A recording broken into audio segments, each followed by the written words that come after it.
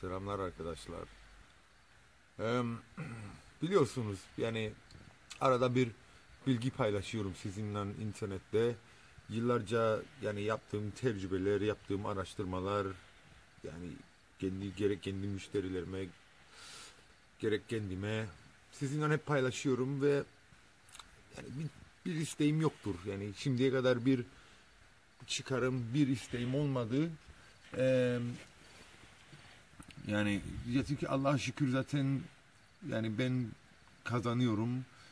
Alım terimle kazanıyorum ve yani ailemi şu an geçin, geçindiriyorum. Ha ama bu sefer sizden bir şey isteyeceğim. Şimdi o arkadaşlar şu çok kilo verdiniz ve o kıyafetler artık size olmuyor. Veya o arkadaşlar şu çok geliştiler ve artık kıyafetleri küçük geliyor genine. Benim bir size bir, ricam vardır.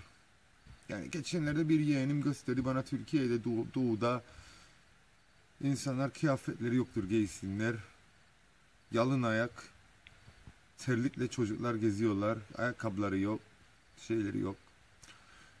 Yani birçok insanlar vardır ki yeterli kıyafeti yoktur giysin. Yani yorgan yoktur örtünsün. Yani o gibi şeyleri düşünebilirseniz ve lütfen kıyafetlerinizi hiçbir zaman atmayınız.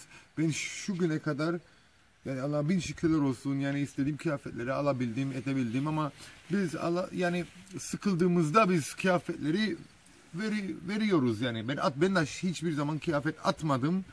Ben her zaman ya kuzenlere veririm ya beni du- durumun ol- iyi olmayan insanlara veririm. İnşaattaki işçilere çok verdim. Yani bazı köylerdeki gariban insanlara verdim. Ben hiçbir zaman kıyafetimi atmadım çöpe. Ve lütfen siz de yapmayınız onu.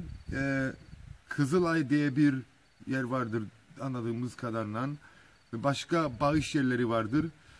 Yani onları yap, onları yapınız lütfen ve yine de bu soğuk zamanlarda yani Kıbrıs çok soğuk değil ama biliyorum ki sizin oralar çok soğuktur ve insanlar bayağı zorluk çekiyorlar. Elinizden geldiğinize kadar yardım ediniz. Yani hepimiz kardeşiz, hepimiz birbirimize lazım yardım edelim. Yani kısacası ben bu işi bu için yapıyorum. Peace.